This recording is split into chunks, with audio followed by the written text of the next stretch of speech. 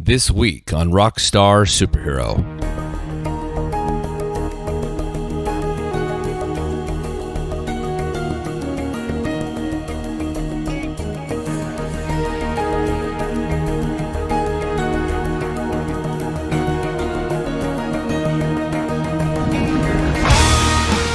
Amorphis is a legendary Finnish metal act and one I've dreamt about hosting for a really long time. When a business contact of mine told me it was possible to snag a chat with the band, well, I pretty much went bonkers. Then I went more bonkers when I found out the only times available were when I already had a week's bookings in place. There was no way I could make it happen. Now, I cannot exaggerate the level of bummed out I felt at that moment, but last week I got another call letting me know that I could interview Olli. It would have to be super early, so I did my best Bryant Gumbel impression, got up at 4 a.m., and made it happen. I mean, this is Amorphis, people. We do what we have to do. Since we had very little time to chat, let's get right into the thick of it. This is my interview with Olli-Pekka Laine, the bass god of Amorphis, on Rockstar Superhero.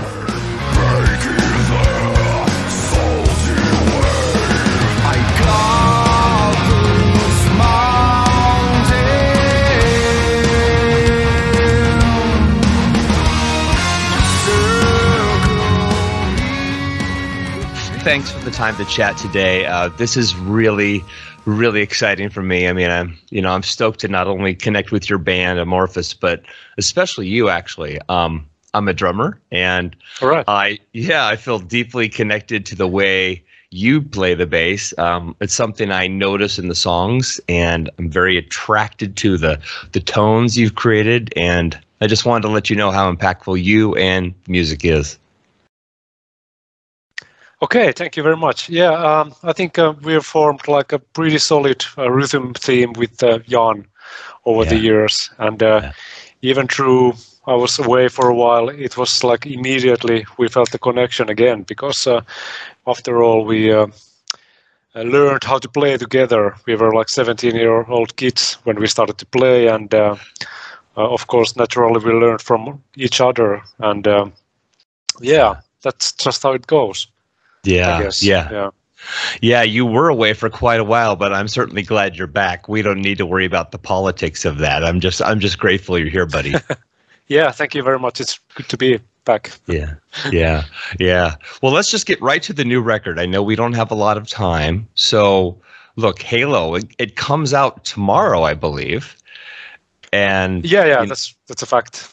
Yeah, yeah. So for listeners of my show, by the time you're hearing this, you know, chances are the record is out and you must buy it. I've heard it. It's a done deal. It's a fantastic experience from top to bottom. So again, congratulations to you. Thank you very much. It's like um, I'm really happy about it as as well. It's like um, really well uh, structured whole and entity. I think uh, Yeah. it's like um, we have to thank, of course, Jens about it because uh, he's producer and uh, he made the song sele- song selections and. Uh, Naturally, we have pretty decent songwriters in the band as well, Yeah. so I think that's a good combination. Yeah, yeah. No, it, it is fantastic. Uh, you know, I I really dig it. Um, I, I mean, especially I have to say this. I, I I love love track ten, the Wolf. Um, there's something about that too, and, and I get it. I mean, it's way deep in the album, and usually, you know, if you're going to put your hits out there, so to speak, it's usually the first, second, or third song on the record. But I really like the placement of this. I think the record just kind of builds and builds. And when you get to this track, again, it's track 10, it's there's something about it that just feels and sounds a little different to me than the rest of um but it's progressive and I don't know. It's just a killer track for the bass. You know, the the, the Mhm. vocals are the vocals are traditional in what you do. You know, the harsh and the melodic. Um, but there's a bridge, you know, a solo section that is just really gorgeous and um, I don't know what kind of story you're trying to tell with it, but it's it's it's Mm. I just I just love it. So it, can you can you maybe tell a story about that album? Uh, excuse me, that that track, or or do you believe that track best represents the band?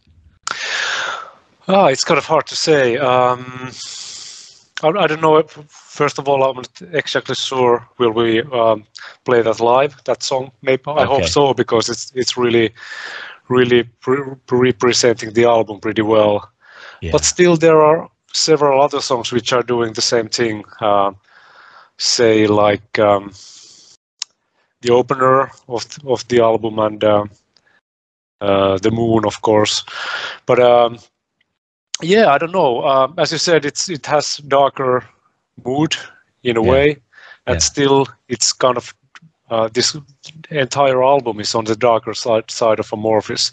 I think if you compare yeah. it to uh, Queen of Time, so it must be one of oh, the heavier tracks of the album. So uh, yeah, but still there is like um, my name is Night is coming after that, so it's uh, uh, like a little bit lighter end for the album yeah, in that yeah. sense. But yeah, I, I, it's hard for me to say because um, um, it's up to composer, of course, and uh, we didn't spend too much time arranging the songs together uh, in the studio or in the rehearsing place. We just rehearsed the songs and uh, and uh, jumped to the studio yeah. But still, I think uh, you could sense at that point already that there is like pretty strict contrasts on the album uh, and mm. between songs. Like uh, there are lots of proggy parts and uh, death metal parts even, and uh, also bunch of melodies, yeah, which has yeah. been kind of a trademark for Amorphis uh, throughout the years. But yeah. on this album, maybe it's like even more present than on Queen of Time.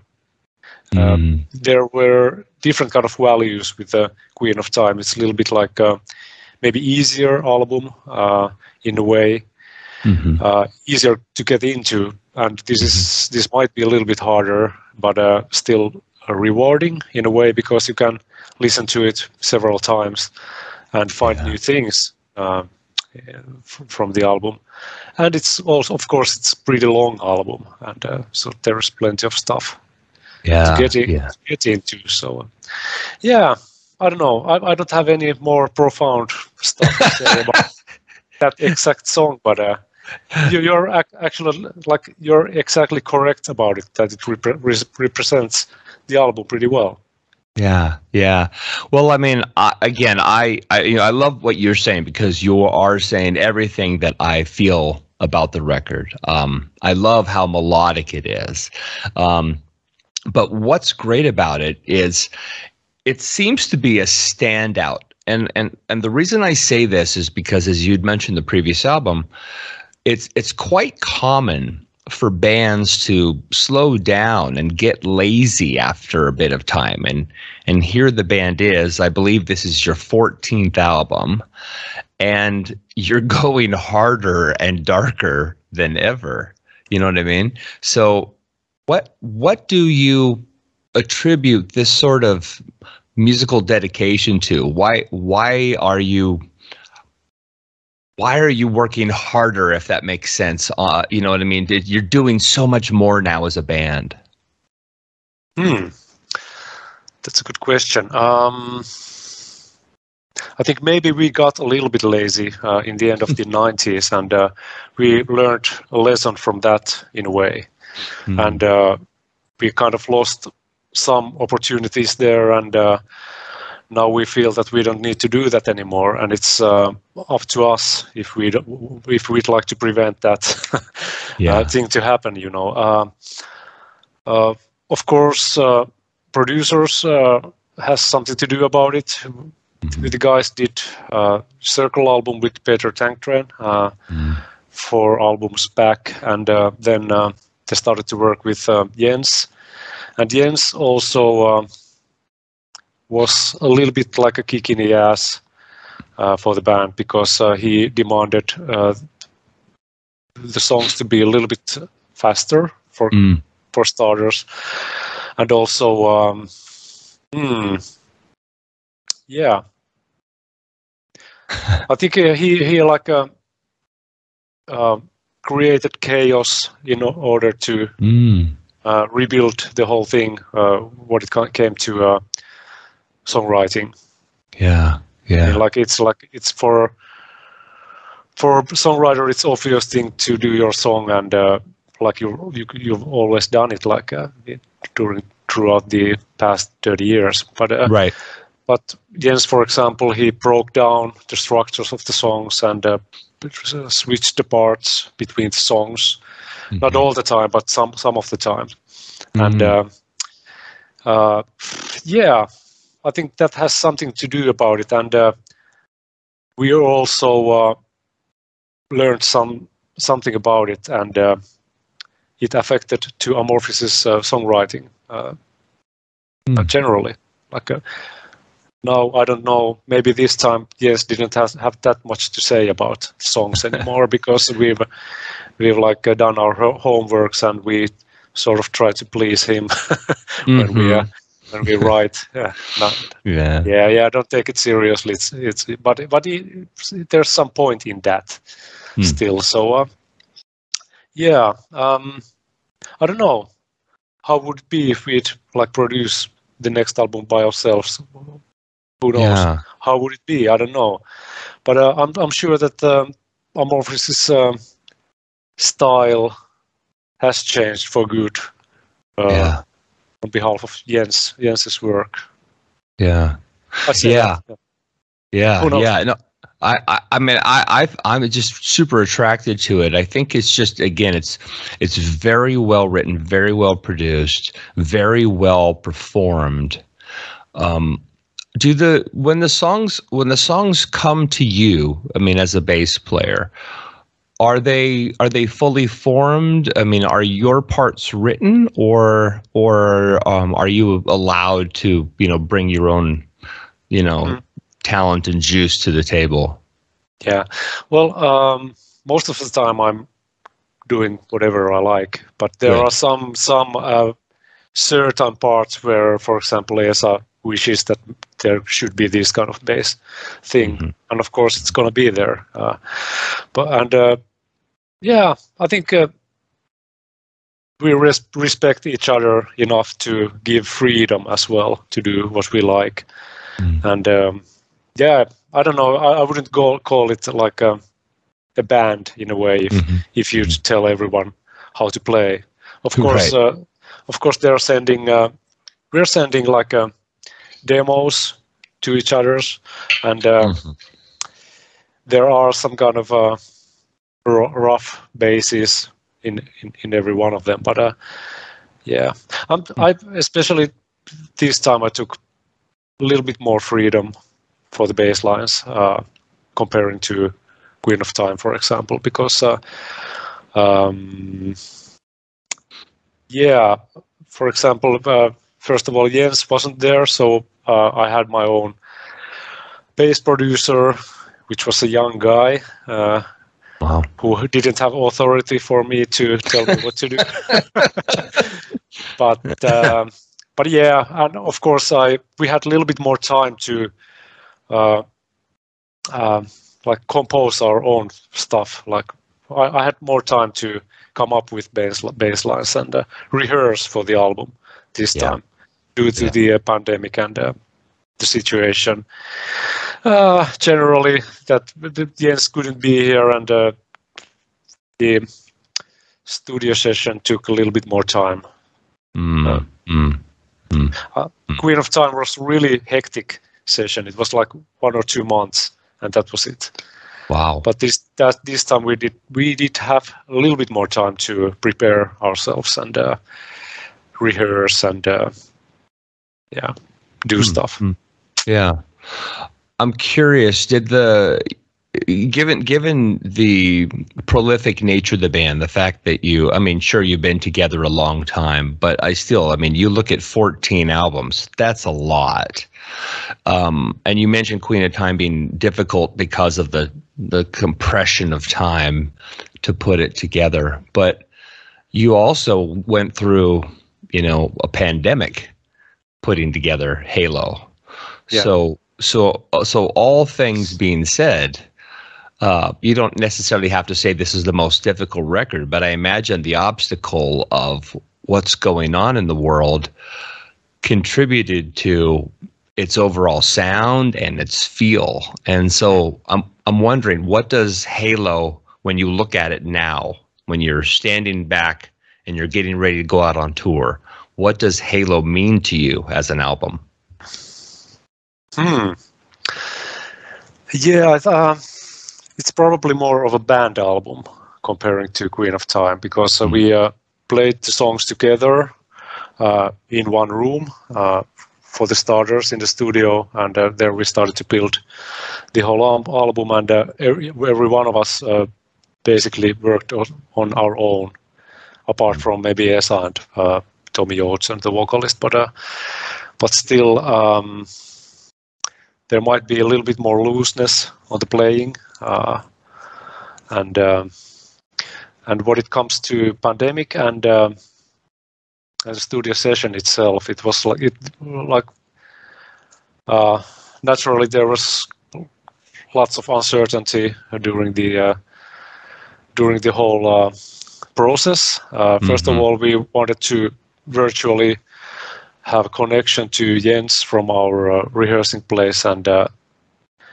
arrange the songs together with him like that. But that didn't work out, so we had to do it on, on our own again. So, mm.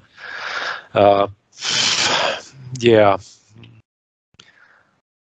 yeah, it's like uh, I don't know. Uh, it had its pros and cons because uh, now we could work in Helsinki, only where we live, and we didn't need to go to Sweden uh, and spend like uh, two, three weeks there mm. and wait for our turn to play. Now we just could go to the studio and do our things, and that that's about it. So uh, it was quite kind of easy mm.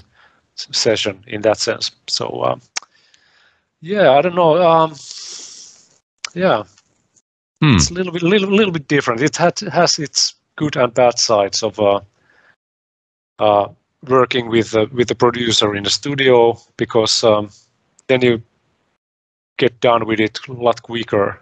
Uh, the whole mm-hmm. process. I mean.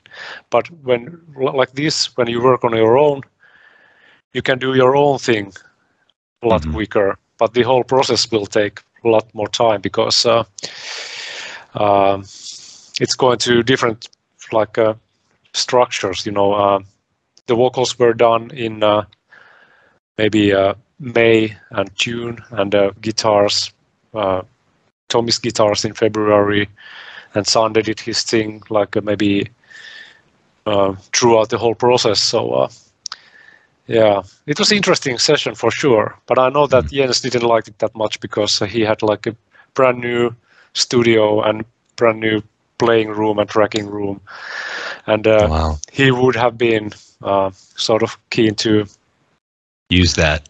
Use that, yeah, yeah. And we would also, it would have been like a pleasure to be there.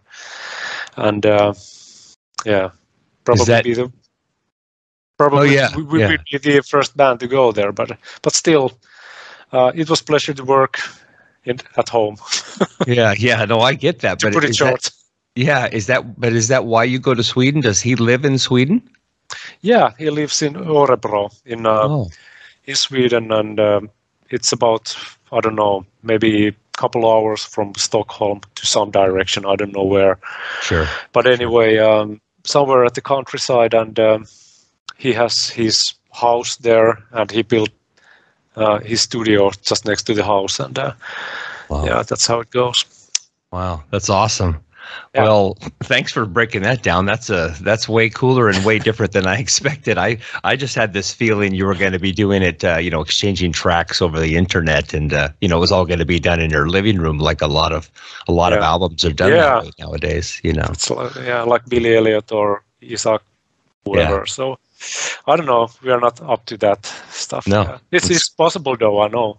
yeah, yeah, it is possible. But you know what? Um, I think a lot of it is generation stuff. I mean, I'm older than you, but we are in the same generation, and we do things the old-fashioned way. Yeah, you know? yeah, exactly. Yeah, that's how, what we do, and uh, that's the reason we want to put out like traditional full-length uh, long play albums.